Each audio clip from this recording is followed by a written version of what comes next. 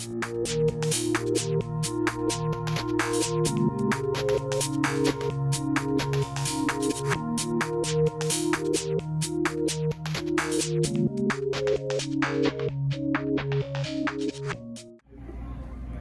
Annie Toole and I teach criminal justice at South Walton High School. I spent two years at the Walton County Sheriff's Office as an investigator.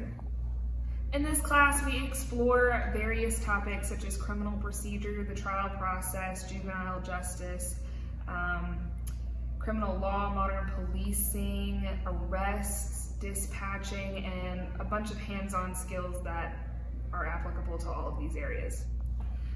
This class can prepare you for jobs such as police work, becoming a public information officer, becoming a lawyer, going into protective services, firefighting, emergency um, medical services, all kinds of different things.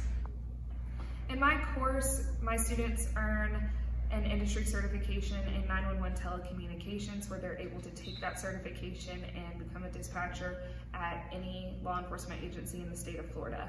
And we have actual simulators that we get to practice um, dispatching to emergency situations on.